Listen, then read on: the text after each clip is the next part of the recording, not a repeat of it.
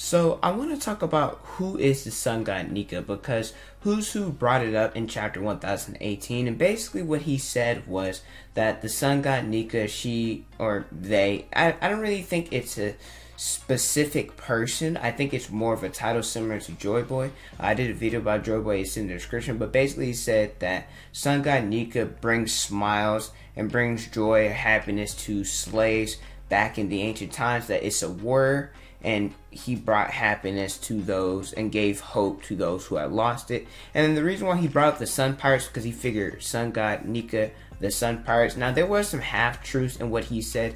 The Sun Pirates are composed of some former slaves. We saw that they would hide the claw of the celestial dragon within the Sun Pirates tattoo. However, the fishmen being specifically slaves and like their whole history is about slave that's why jinbei got upset because that's not necessarily true.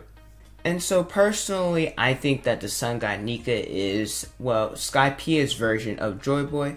Like i said earlier i did a video about joy boy being in the description i'm not going to talk about everything and how he's connected in this video. However it is not far-fetched for it to be the Shandians version of Joyboy because we've seen that the Shandians and Skypiea they've called something um, or had another term different. We see observation haki, mantra, and in a couple chapters, I believe it's chapter 286, we see Luffy or uh, I don't know what there's one chapter that they're talk about the sun god before I'll have it on the screen. And there's also in the same or a different chapter, we see an image of Luffy dancing around the fire. We see it in, I believe, chapter 300.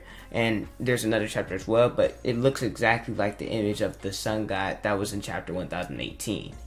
Another chapter that made reference to the Sun God was chapter 867. It dealt with Big Mom and Mother Carmel. This was a little bit different. It didn't really seem like someone or a higher being or someone that gave happiness or anything. To me, it looked more like Prometheus or something like that. But I still had to make reference because they did talk about the Sun God in this chapter. And before I go and talk about why the Sun God is related to Luffy, Sun God Nika, I want to talk about the freedom that Luffy gave slaves or former slaves because the definition of a slave is someone who's not free, someone who is property, if you will. And so Luffy has freed and given good times to a lot of people who aren't free in the series. For example, we have Boa Hancock.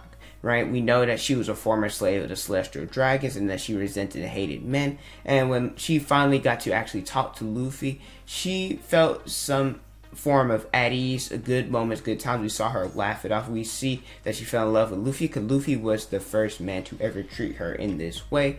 Like I said, he's a warrior who gave her good times, good feelings, good emotions, and took away all the burdens and the sadness. We also know about Rebecca that she was a slave to Doflamingo, forced to be a gladiator in the Colosseum. Uh, the amount of times that Rebecca had been through emotionally with Doflamingo's ridiculous. When she met Luffy or Lucy, she felt that everything had gone away. She was in good spirits and that she actually smiled for the first time. And so, Rebecca, we see how the people of the Coliseum treated her. They hated her, resented her. But when Luffy was in the picture, that he didn't treat her the same way other people did. And he ended up stopping Doflamingo, bringing her happiness. She was able to see her father again, her grandfather again, etc. And we also have the prisoners of Impel Down. They weren't free. However, Who's Who, I want to bring them up because Who's Who was a slave and a former prisoner. Like I said, he wasn't free. And so the people of Impel Down, when Luffy freed them, they were happy. Luffy gave them a spark, gave them high emotions. We saw uh, Ivankov, Jinbei, um, the queers from Newkama Land, uh, Bon Clay just all of them, as soon as Luffy came, he turned Impel Down upside down. Another person I want to talk about is Vivi. She was a slave to Crocodile in his kingdom. Vivi even stated herself that when she was on the ship, that all the birds would go away. And the fact that Luffy told her himself that, well, don't burden everything alone. We're friends, right? So Luffy, he took all of Vivi's suffering away, made her feel at home, made her feel wanted, and which is why she was debating should she be a Straw Hat Pirate. I mean, I know she technically is a former member, but she was debating she should go on the crew with them because she had such great times with them. And the last person I want to talk about is Shirahoshi. She was a slave. Well, because she was beside she couldn't go out in the world. She couldn't explore everything. Uh, the fear of Vanderdecken. And I guess you could say Hody Jones and the other fisherman pirates. But Luffy came, he took away her fears let her see the world and explore the world for the first time. She had so much enjoyment that she never had before she met Luffy. We see Shirahoshi, she was always scared and she never had a smile on her face. But then when she met Luffy, she finally opened up and she had good times and she was smiling all the time. Needless to say, these are examples of people who weren't free or were slaves, and Luffy ended up saving them, bringing them joy, bringing them happiness, and freeing them from their past or their slave bonds.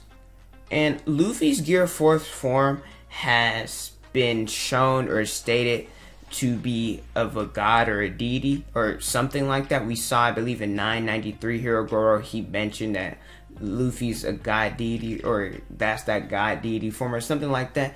And then there was a chapter, it might have been 990, I don't know. But I think 990 was the one about the deity form, and then 993 we see a balloon or a picture, a balloon from the fire festival of this god deity. It kind of looks similar to Luffy's Gear 4th form. And this is where I want to talk about how the sun god can uh, has something to do with Luffy's new uh, new gear or new form. Now, personally, I like whenever Luffy gets a new form. However, I feel like he should get a Gear 5 instead of being a new Gear 4th form because, well, we've been using Gear 4th or different variants of it since Dressrosa, right? A Dressrosa, Zou, Whole Cake Island, and now Wano. This is the fourth arc that we've been introduced to Gear 4. And like I said, don't get me wrong, Snake Man, Tank Man, Bound Man, they're cool. But I, I would prefer us to get a Gear 5. However, the reason why people are saying that it's um, the Sun God Nika is related to Gear 4th is because of Sun Wukong, the Chinese mythology. I'm not really good with the whole mythologies, Roman, Greek Chinese and all that. However, I did do a little bit of research. And I know you guys have heard of Sun Wukong, but I do have to bring this up. So, if you guys did not know what's the origin or the story behind Sun Wukong, basically, he traveled through a waterfall, climbing up a waterfall. Luffy going up the a waterfall to Wano, and he declared himself king. Luffy, during the battle, he said he's going to defeat everybody and become the pirate king. And it also was stated, uh, I believe that it said that he's going to take down the Dragon King. He's going to take down the Dragon and Kaido, and it said that he's going to take other demons down as well, which would be Kaido's underlings and I guess people who work with Orochi. So the um, the three All Stars, the Tobiroppo, and any of Orochi's men. And it also says that he gets help from other monkeys. Um, that's his Straw Hats, and I guess you could say um, the Kid Pirates, the Law Pirates, the Minks, and the Samurais as well. And so, since they already talked about Gear 4th being um, similar to a guardian deity, a lot of people have speculated that Luffy's going to get a new form, which would be form of snake. Well, I guess Gear 4 form of Monkey Man, or Gear 4 form of um, Sun God or uh, Sun Wukong Man or Sun Wukong Monkey or something along those lines. Luffy has to get a new gear for. I'm uh, well, a new gear. I'm sorry. I know he got Conqueror's haki. He can code his attacks in Conqueror's, and I know that he has Ryou. However, let's be real. Ryou and Conqueror's haki attacks, they're not enough. I personally think Kaido's the strongest in the series. If you don't think so, that's fine. However, you have to give him at least top three.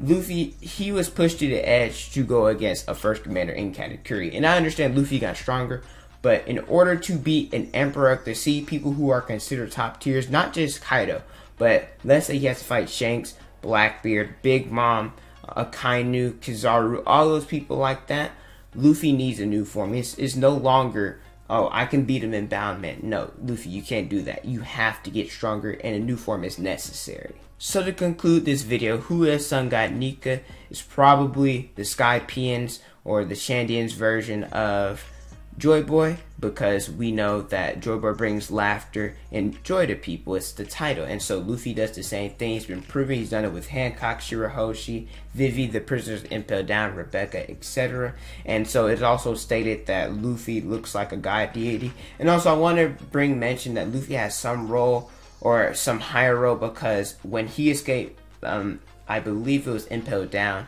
um, Lady Nui or the previous Gloriosa or something like that, the previous princess or empress of the Kuja Pirates, she says, well, Luffy, when he went to Impel Down, he was going to be nothing but an ant. However, he ended up causing havoc in Impel Down and at Marineford and he ended up surviving the battle. So she wanted to know what God's destiny or what God had placed on Luffy's soldiers. But this has to do with Gear Fourth um, because, like I said, they believe that Luffy is, or it looks like a deity, which is why a lot of people speculate that Luffy will get a new Gear 4th or a new Gear, something like Gear 4th or Gear 5, Sun Wukong Man, some Monkey Man, or something along those lines in order to beat Kaido because in Chinese mythology, Sun Wukong he did beat the Dragon King and became king himself. But let me know your guys' thoughts about this theory. Do you guys agree? Who do you guys think Sun Nika is? But thank you guys so much for watching. Don't forget to like, comment, and subscribe.